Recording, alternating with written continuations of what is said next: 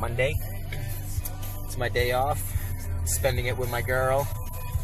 So we'll see what happens with the vlog thing, but uh, still gonna post one, you know me.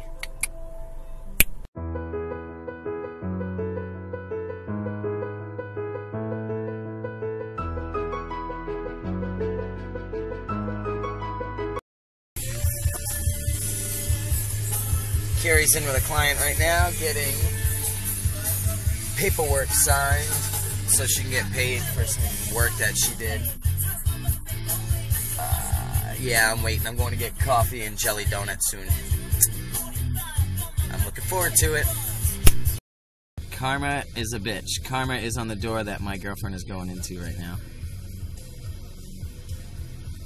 So I told her I'm going to videotape it. That sign is a bitch. so it's nighttime and I'm at home. Like this video, thumbs it up. Question of the day. No, not how I thought it was. Question of the day. Are you afraid of the dark? No. I'll be right back. So that is going to be the vlog for today. Um, getting a hectic day. Every day is hectic, but at least I'm putting that video up every day. I'm not really too concerned with quality. They're short. I do it for me, just to make me put one up every day. But so yeah, get some cool footage. I will be uh, doing better. There'll be some better ones, but that's it for now. So question of the day: Are you afraid of the dark?